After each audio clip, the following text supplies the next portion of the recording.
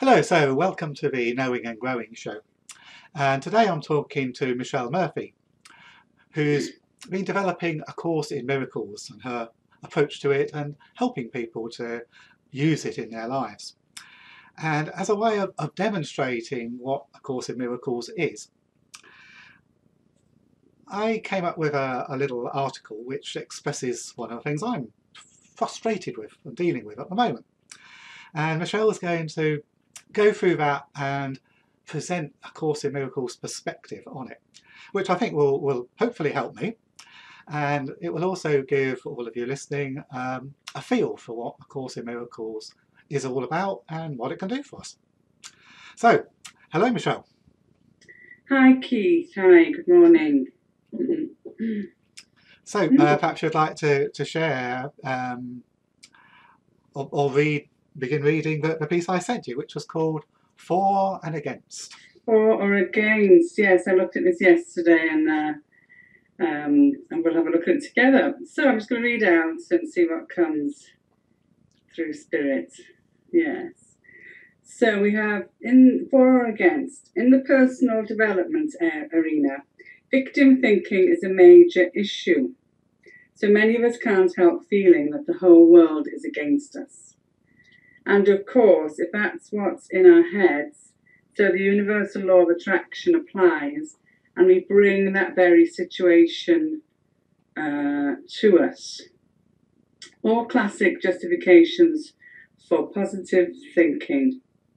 But, it, but is it as simple as that? Can we just switch our thoughts to more constructive ones.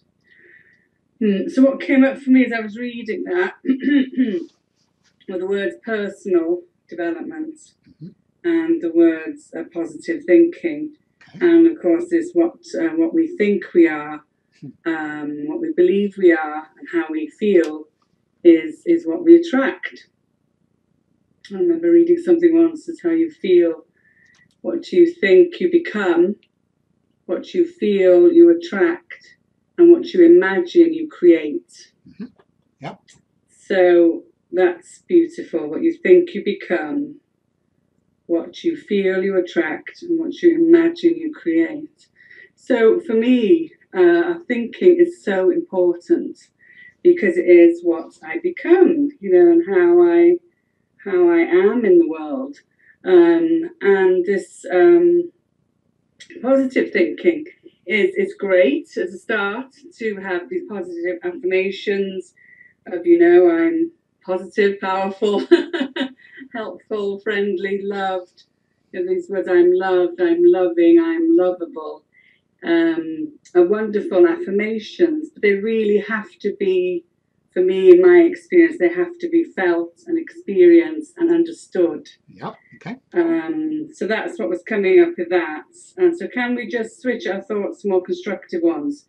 Well, yes, we can. We can with help and all these self-help books. But we have to remember that its essence, that is the personal self, that is the problem. Mm-hmm.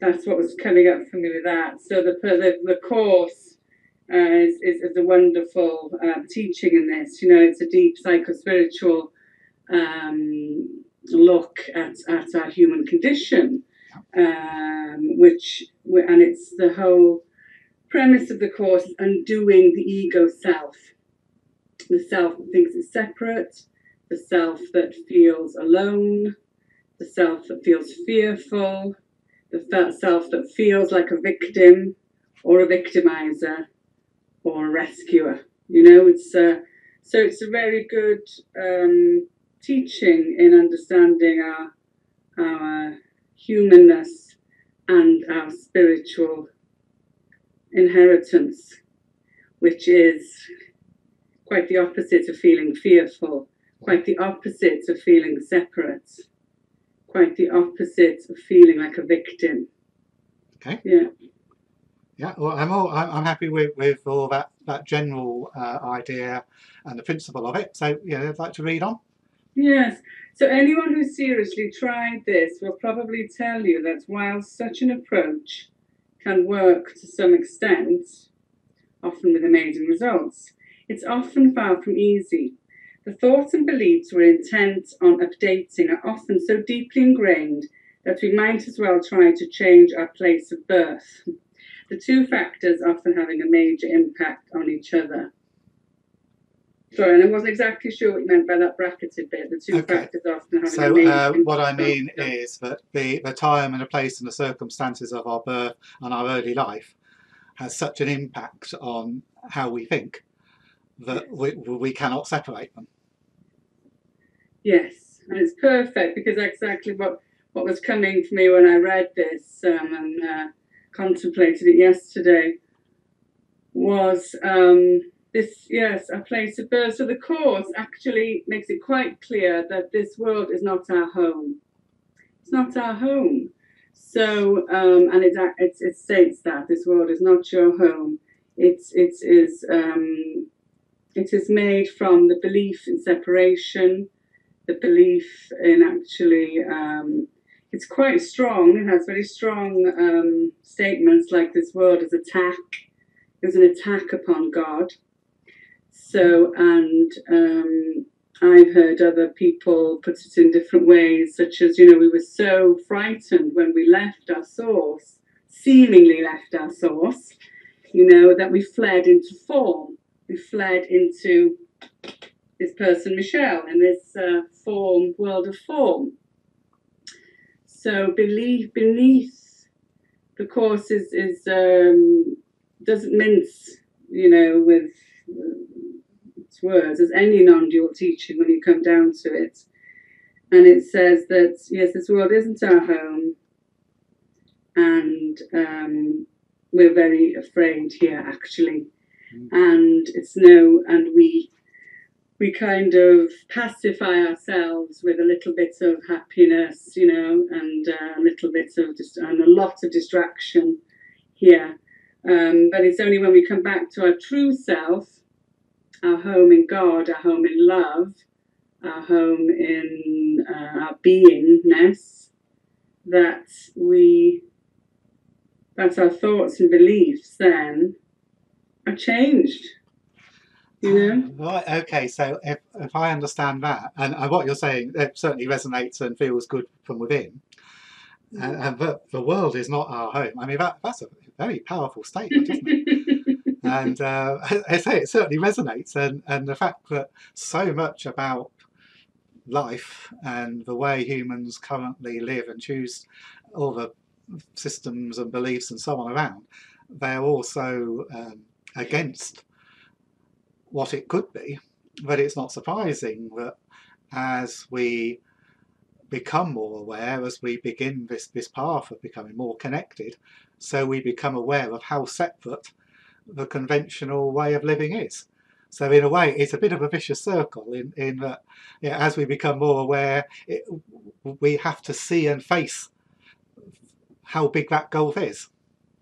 Yes, yes, yes, it is. It's, it's um, you know, the ego, I've been, I've heard, has been ex, ex, described as a, um, a socially induced um, hallucination as well by Deepak Chopra, Yeah. which I thought was interesting. Yeah.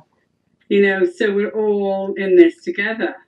You know, we all have a belief if we're here and we seemingly are here, you know, I can't deny that I'm sat in this room and next to this table, chatting to you, uh, looking out, you know, at this window, this place.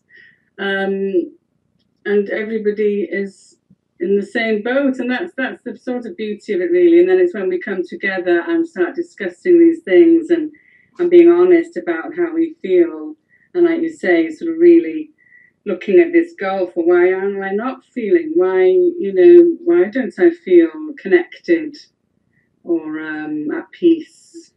You know? So I, I think that was one of the points I was getting at was it, it's not necessarily that we feel the world's against us. It's because yeah, as we become aware of this gulf, that helps us to, to, to, to recognise just, just how big that separation is and how big the task is. Um, Mm. yes. Yes. And, yes. and, oh, that's right. That was the, the other point I was was Mm. meaning to get onto was when when you and I are talking, I'm talking to other people in what I call the transcendence movement in, in my PhD thesis.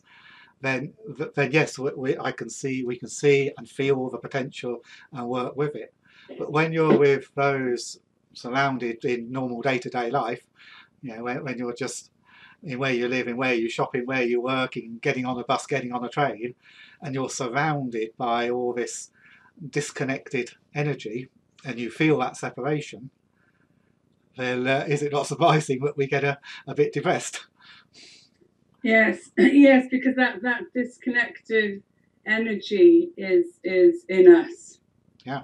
It's in us. So so, you know, um, teacher David Hoffmeister, one of the Course in Miracles teachers who I've followed quite a lot, um, said to Jesus once, you know, I can't live here in this society, I can't cope. You know, and, and his answer from Jesus was, um, the society is in you. The society is in you.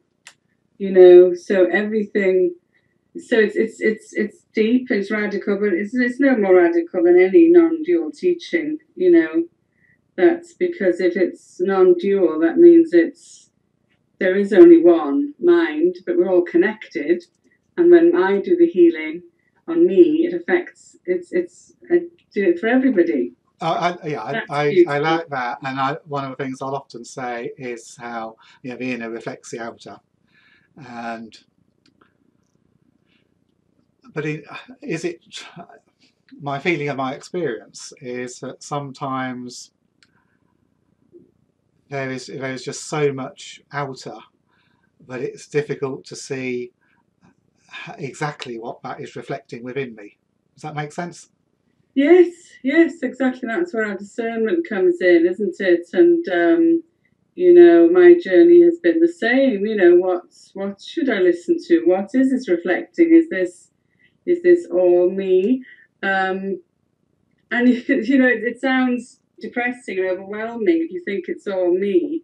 But but we have to remember that it's, it's all the false me. It's the false okay. me. Yes. That is being reflected back. You know, my false beliefs that I'm unworthy of love. My false belief that I am weak and um, disconnected. You know, it's my false belief that um, I'm not good enough. You know, because this is what the ego is. This is what this personal um, belief is a belief in separation, in weakness, in victimhood, in comparison. Always comparing, always comparing. But love doesn't compare. You know, and love doesn't see good or evil because love has no opposite so, mm, so their love only will respond to anything with love. So for me, where I am at now, you know, and I've had um, difficult relationships with families and a seemingly, you know, um, dis- oh, well, difficult um, childhood. Um, I don't know. I don't even know what to say about that anymore. Everything's been perfect, you know, as I can see.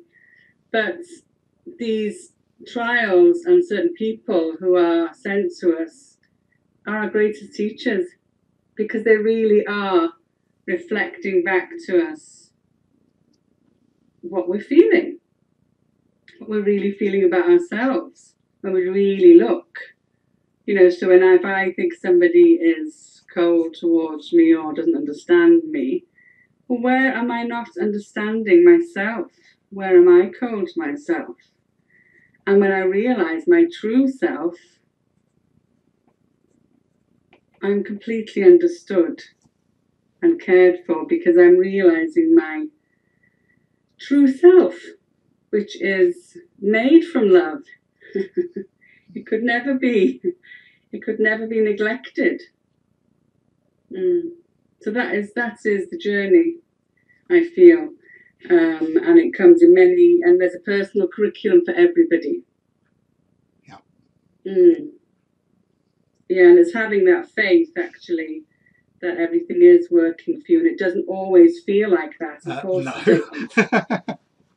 it doesn't always feel like that. I happen to be in a very good place where I am feeling it, you know, and I feel because I'm feeling it, I'm wanting to share it, Very good.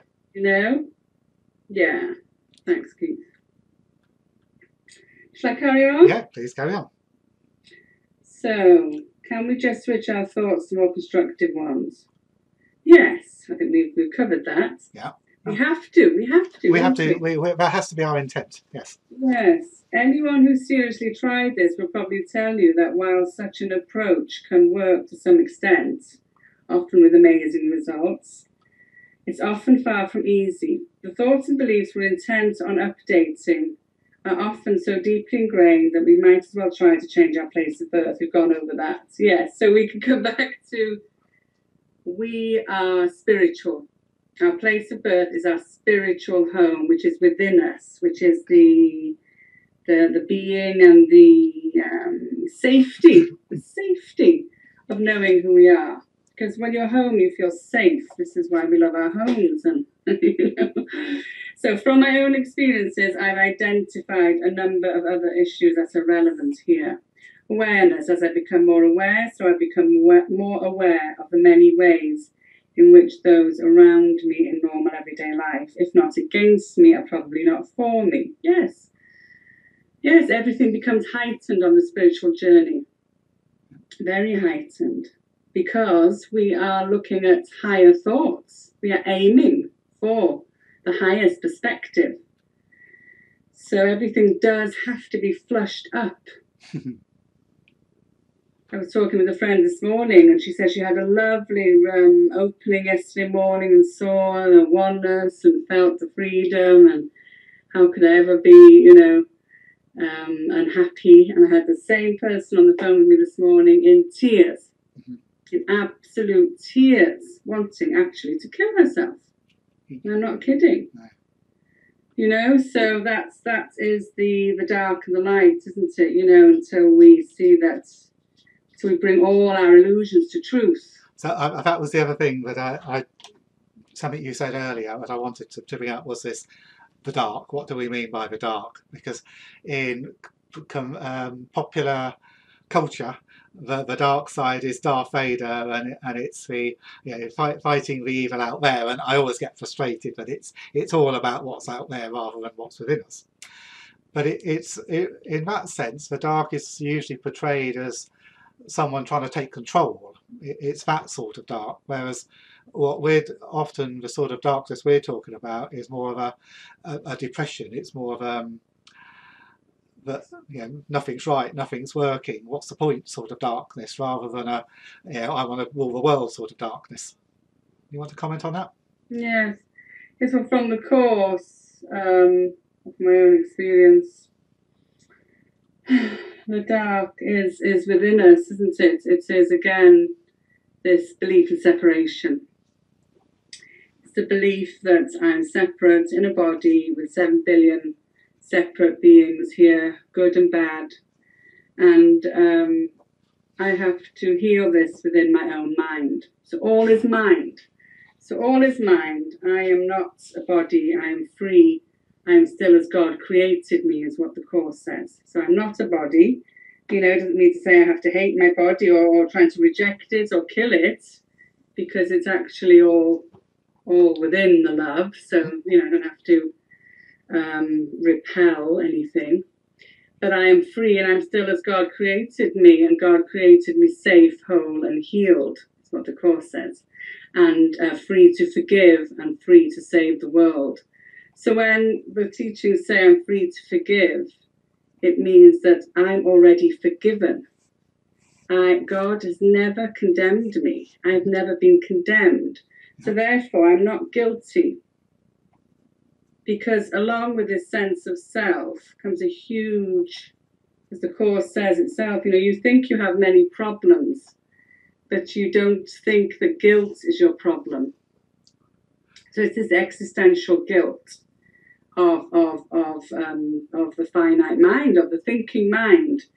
You know, um, yeah, I think this is an important point, one which perhaps I haven't seen in quite that light, because whenever I see or talk about forgiveness, I normally, okay, it might sometimes apply to myself, forgiving myself for, for getting angry at something or forgiving myself or whatever. But I tend usually to apply it to the things that are winding me up. So you know, I forgive you know, the kids outside for making a lot of noise, or you know, for, forgive, forgive the IT people for you know, developing a system that I find totally illogical and you know, intu- non-intuitive. Mm. Uh, uh, how would you respond to that? Yes. Yes, so forgiveness, so the the noisy kids or whatever. Yeah, it's, it's uh, triggering something. You know, you were wanting something to be different, aren't we? Yes. I want my peace and quiet. You know, the right. kids are making noise. I have two teenagers, so they're actually quite quiet. Actually, they quite often say I make too much noise. oh, I like that. Very good. Great. I want them to talk to me more. Um, yeah, but there you go. That's just it. I want something to be different. You know, and you want something to be different when the kids are making a noise, when they're when the um, when the computer system wasn't to your liking, or whatever it is. Yeah, so we're we're constantly um, wanting something to be different from what it is. So, and that's what the course says. That's what we've actually done. So we already have everything. We had everything. We we have everything because everything is now. So the whole the whole um, sort of time and space, all that comes into the course as well. It's very clear that time is an illusion, you know. Yeah. It's got wonderful lines about time. Um, I can't think of any now, but yeah. Um, so so time in this in this illusion of space, time, matter, you know, uh, we're lacking. We have such a sense of lack, and such a sense that we're wrong actually as well so, funnily enough, we're always seeing lack and wrongness in others. You know, what's lacking in the computer system, what's lacking, you know, what's those children are making a noise, that's that's wrong, I should have my peace, you know, and it's so so you can see where, where this this whole ego thought system, which the course is very clear about, that it is a thought system based on fear, based on the belief in sin. It actually says that sin there is no sin. Sin is, is, is another word for lack of love. A lack of love.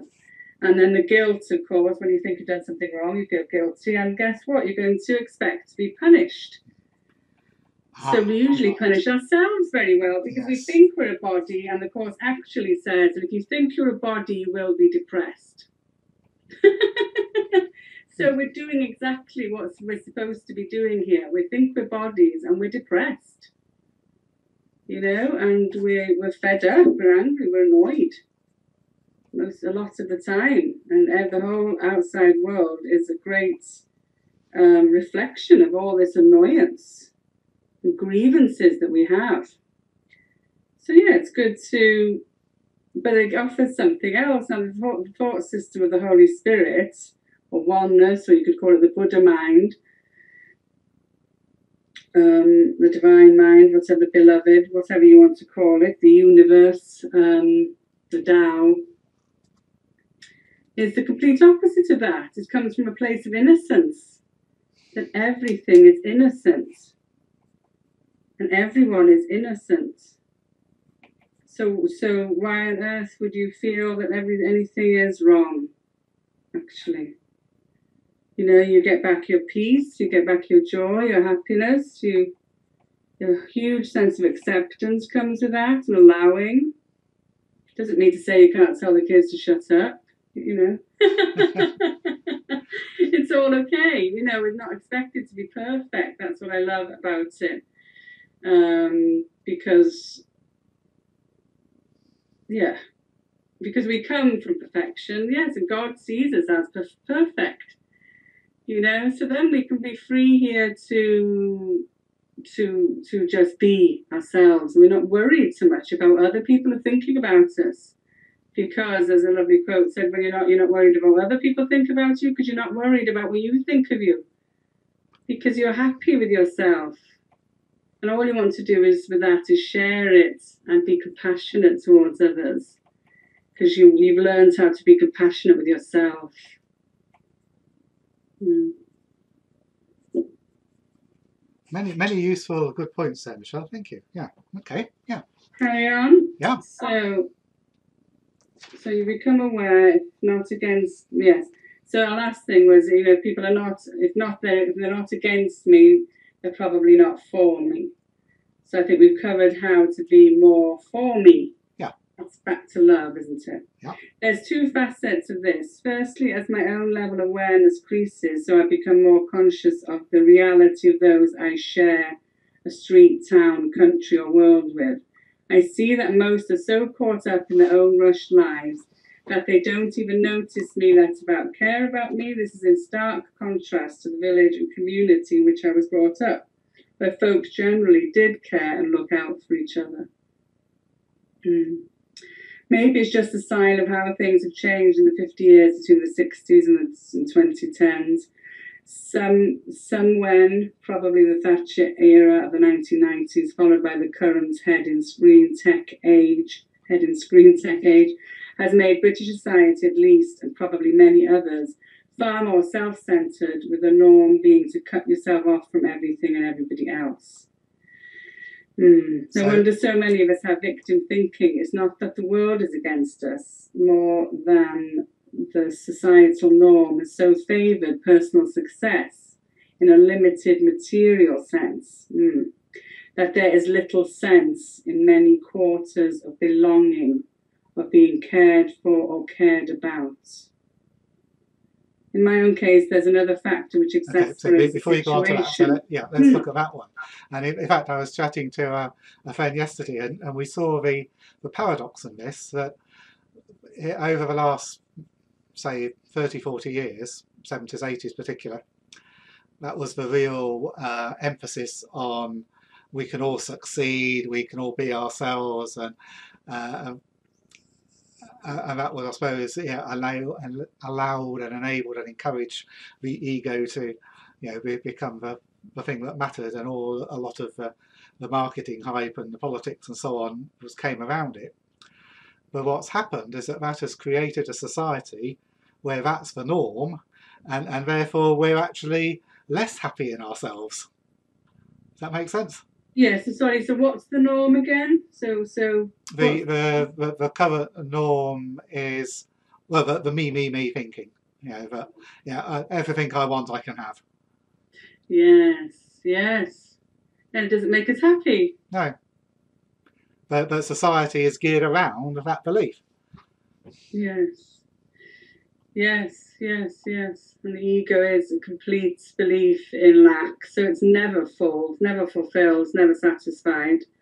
And um, the Course says that it literally goes from suspicious to vicious. That's its only mode, is from suspicious to vicious. So it's never trusting. You know, has big problems trusting. And very easily, if it doesn't get its way or something shocks it or something out of the blue happens, it gets vicious. Mhm. You know, look what you've done, you know. Now look what's happened, you know, it doesn't like, it wants things to stay as uh, calmly without change, doesn't like change, That's true. doesn't like change. But what we truly are is changeless. That's the paradox, isn't it? What we are is changeless and eternal and um, unlimited. Yeah, so it's it's um yeah, as you say, everything reflects this. The head in the head in screen tech age, the the isolating, you know, it's all um reflective. Oh gosh, somebody's coming to to one second. So a good metaphor for us, the window cleaner. Oh right. We're literally I like that. about cleaning our windows, and I read something about in the course yesterday actually about keeping our our windows clean and our minds pure. Um, yeah, and that's what we're doing. That's what we're talking about, isn't it? We're uh, so. Yeah. we're, we're we're lifting up the dirt. You know, and when we start doing this, uh, somebody was talking about the spiritual journey being like cleaning a very dirty oven. Actually, Yes. once you start scrubbing it, it makes a lot of dirty water Certainly does. before before it's um clean before it's clean before it's healed So our work is as healers here to heal this, uh, yeah, the suffering, really, and the sense of uh, aloneness that we feel, and our ways and the ways in which we pacify this all the time, you know, with our little, with our hiding away.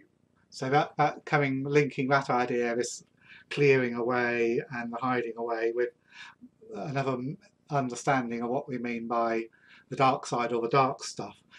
I would often associate that with the, the stuff in our heads, the, the, stuff that's in our subconscious, the, the chips on the shoulders, the beliefs that we inherited in our upbringing and all that sort of stuff. So the clearing away then, the clearing the windows really is when we you know, face, well, that was what I was brought up to believe, and now we have to say, well, actually, that's a load of rubbish. a load of rubbish. Yeah. That's a load of rubbish, exactly. And my past has been perfect for me, and any thoughts I had of um, unworthiness and, and feeling unappreciated and important. Yes, I've got all of those. And um, it is a load of rubbish. It's a load of rubbish because it's um, it's it's a belief in the false self. It's a belief in the false self, and the false the false self wants to do is perpetuate that constantly, you know, and keep me in chains. We're slaves here. We're slaves here, yes. But we're not. We once you see the yeah, yeah, yeah, yeah, absolutely. Once you're onto it, once you're onto it, it's inevitable. You know, the truth is inevitable. The course has lovely lines about this. You know, all things work for good, and um, lovely ones like you know, um, perfect patience um, produces immediate results. You know, beautiful lines like that. Then that's I've quite got that right. It, it is that's the, no, doesn't say perfect patience. Oh, it's total patience or something that produces immediate results. And yeah, I think that when we start looking within, when we start looking within, uh, that's that's our way out. But we do it. We have to do it with help because it can be a bit scary. What did I hear somebody say yesterday? Our mind is a bit like a scary neighbourhood. You know, a bad neighbourhood. You don't want to go there alone. Quite. Yeah. Mm. But the light is is under the we bring the, the, illusions to the truth. So we don't try and bring God into the illusion. You know, the, the course says that you know God doesn't even know about this. You know, true love. How can well love love knows no opposites. But we have the wisdom, the intuition, the Holy Spirit. You could call the course calls it the Holy Spirit other people might call your higher self, your intuition, your wise self, um, your pure consciousness. You know that that's that that we are that aspect of us um, does know and knows our uh, intimately our um, knows us. True.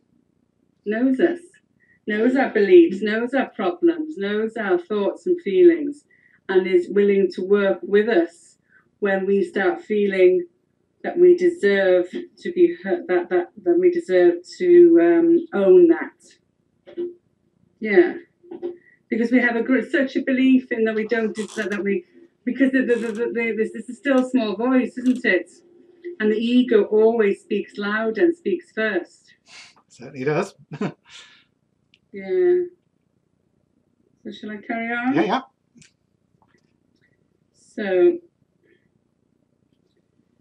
yeah, oh, this bit, yeah. Um, since as long as I can remember, I've been an observer. I like to see what's going on. Exactly what we're talking about, really. This is the observer self that observes what's going on. I notice, I suppose, it is this that has made me a good quality assurance person and a good researcher. I can spot trends or things that are out of place. I'm not swayed by superficial factors, but able to tune in and get a real feel for a situation.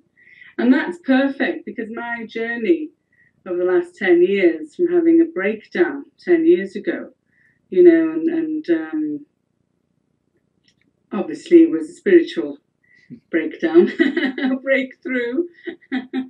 And it has been one of asking questions ever since. And when we start observing what's going on and saying, gosh, you know, my question was, where does all the love go? Or, you know, I wanted to see through the eyes of love. What is going on here? Why does nobody seem to care? You know, and I kept asking questions, and you will be answered. I have been answered. You know, so we have to be we have to be in this observer. We have to see what's going on. We have to start noticing what's going on within ourselves. You know, and then we have to start spotting trends, exactly. We start getting to know ourselves, you know, then I get to know where I can easily be,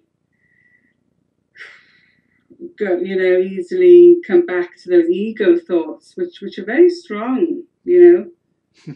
you know, apparently the Buddha was even still tempted by Mara after his awakening and, Okay. you know, had to, as, as yeah, so so the journey of awakening is firstly realizing that that you are not your thoughts, you are not your feelings, you're not the thinker.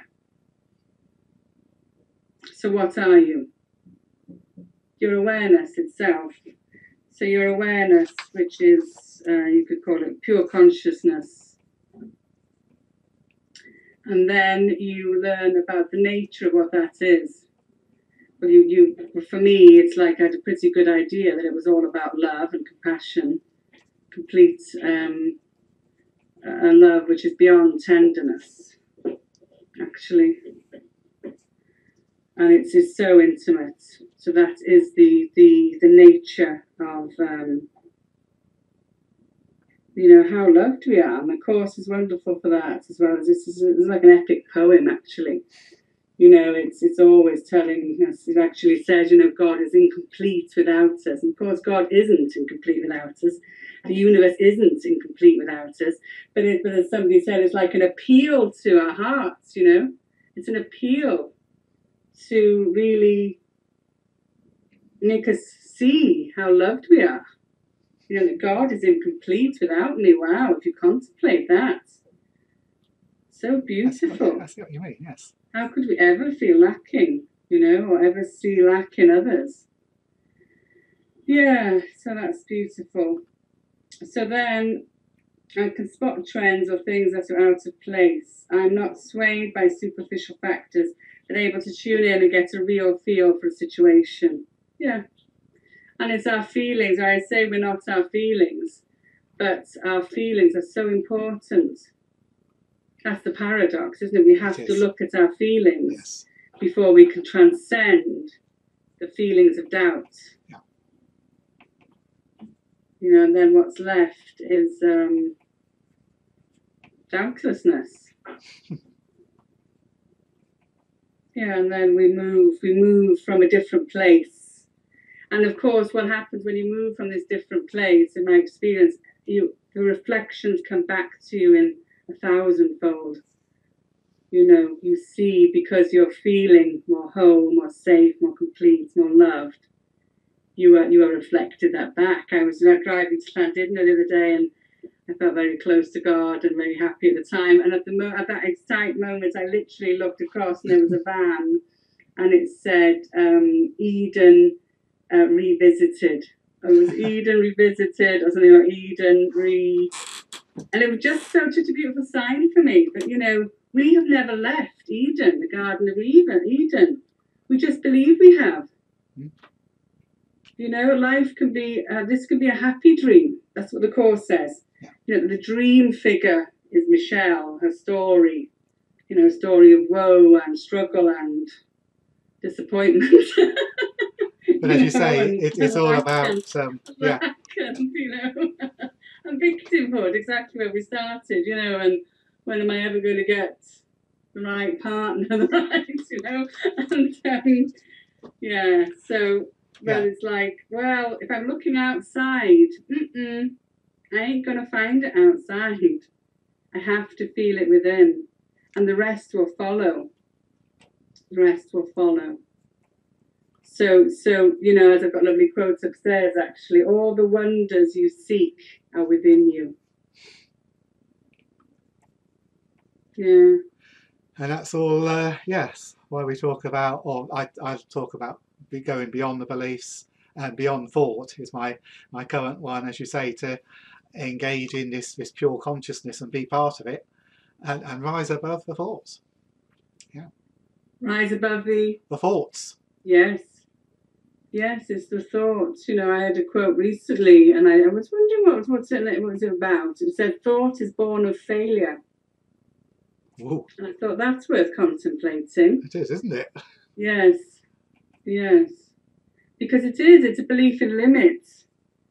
You know, it's, um, I've been listening to a lot of Rupert Spira as well recently. I, you know, I love many spiritual teachers, and the Course is sort of my go-to um, scripture, if you like. And I don't know if that's the right word, but um, yeah, he talks about this. You know, the limits. It's it's it's it's the, the belief in the self is like limitlessness, limited. You know, so thought is is uh, or, or, is awareness, pure consciousness, limited. You see, there's like a, there's like it's it's it's it's, it's almost like we've had to become limited to to to see our limitlessness. Yes. It's often the way, yeah. Yeah. So Okay. Yeah. So is Yeah. that all I said? Shall I carry on? So. Mm-mm-mm-mm-mm. Let's get a real feel for the situation. Thus, as I look around me and tune into today's reality, I can't help but note, for example, how little most people seem to have for them. Um, How little time. Little time. Yeah. Sorry. yes, yes, but it's funny. I should say, you know, we're, we're talking about how little we That's feel right. that we have, don't we? Yeah. You know, and how we're not little at all. We have everything. So how little time most people seem to have for themselves, for themselves, or what they feel they need to do, let alone for anybody else who happens to be sharing life with them. It's nobody's fault, just what society has uh, have, has become. In many areas over recent decades, again, it is no surprise that victim thinking and all the health and societal issues that go with it are at such high levels. Hmm. Yeah, and the course is brilliant on this because it says that sickness is a defense against the truth. Sounds about right. Yeah. Mm. So we're back into the victim, and we we're projecting. The body is literally telling us what we're feeling. hmm Yep. So I've had problems with underactive thyroid, and I absolutely know it's it's. Um, I haven't had that many problems with it actually, but that's it. Uh, whatever, anyway. But it's um, yeah, absolutely know it's a belief in a lack of expression. It's a lack of of because I wasn't able to express who I was. I didn't know who I was. Mhm. You know, but that was the journey. You know, and knowing who I am. You know, be still and know thyself, isn't it? Be still and know that I am God. So yeah, that sort of explains itself, really, doesn't it? So how we all feel that we've got so little time because we, we keep running around like headless chickens, don't we? Trying to get somewhere and achieve something, and um, and cover over this unworthiness, this this you know feeling that I've got to get something right somewhere, or yeah, yeah. So we, what are we on? So what's the? It's nobody's fault, just what society has become. Um, and talk about the health and society. Yeah, the course is really big on this, and it says that um, inner peace is health. Along So with that. that's that's that's that's mental and physical, of course, course, because yeah, yeah. everything is holistic. Um, so inner peace is, is, is the answer, is the only answer. Yeah. It's the only answer to all our problems. All our problems, because there is only one problem. The course is great on this as well. It says, you know, I could see peace. I'm never upset for the reason I think. I think it's the Ah. Whatever, the boyfriend or the whatever. Yeah. But I'm never upset for the reason I think. And I could see peace instead of this. Because actually all my, my all my problems come from the belief that I'm missing God. Yeah. I'm missing my true self. God being me. You know, my true self. So that's that's where all our problems come from. Yeah. So, what's the positive thinker's response to this? How does the law of attraction apply when the reality is that so often in modern society we're isolated, we are on our own? Yeah, exactly. This is why. So the course says this says you you know of your own, on your own, you know nothing basically, and nothing can replace God. It also says that, and it also says that you need your brother. You need your brother because your brother is your is your way home because how can, your brother is going to bring to you all the stuff you need to flush out. yes. you know, and so be grateful to them. So be grateful when when our buttons are pushed. This is this is what I think the, the, the true spiritual path is. When you're grateful for the um, difficulties. Apparently, there was a saint too. I don't know her name or his name but she was, I think it was a she, she would pray for difficulties. She would pray for, for, for, for difficulties because she knew that that's, that's how she would get back to God. Which, which again I- is, is a paradox and, and a sign of the times that we're so used to or, or wanting things to be easy and told that they can be easy and we can have what we want. But to actually welcome difficulty is is very much going against the, the, the flow of the time, isn't it? Yes, yes, it is. It's radical, isn't it? And it doesn't mean to say that our lives have to be difficult. Somebody said to me a little while ago, you don't have to have such difficult lessons, Michelle, you know, because I've had a few. Um, but hey ho, that's how it is, you know. That's how it is. Yeah. You know, it's it's like, well, that lovely quote, you know, you can come to God in your dancing shoes or, in a, or on a stretcher, you know, it's because what we're actually looking at here is our resistance, isn't it? Our Yeah. resistance to seeing this. And our resistance is our huge fear of this love, actually, and the huge fear of our own light. It's not that the darkness we fear, it's we fear our own Yeah. light. You know, and this love that we fear, uh, we, we fear it will it will obliterate us. And in some ways, it kind of does. In some ways it does. Yes, absolutely. It's true. Yes. but in, in the most beautiful way. Yeah. You know, but we think it's going to be death. So, of course, we are touching on our whole belief in death, which is integral to all of this that has to be looked at. I, I know that's a big issue for some people. That, that's, that, that one doesn't bother me, but uh, I know some people. Some people. That's brilliant. I mean, that really does. You know, so much of what you're saying, I hadn't really appreciated. This was, you know, what the Course in Miracles was, it's about, and the different levels at which it works. But everything you said is is totally resonant with uh, the various ideas I've picked up from all sorts of different places over the years. So. Brilliant. That's very supportive, and so many things you said there. are just that that little, you know, extra. Yeah, it's okay. You're on the right path. You're doing the right things. Sort of message, which, is what I needed. So, That's it. Brilliant. Thank you very Encouragement is all Yeah, we need, isn't it? And we have motivation for healing. Yeah, that's right. yes. Oh, lovely. It's lovely. It's very exciting, Keith. Thank you. That's brilliant. great. So, thank you very much, Michelle. Thank you.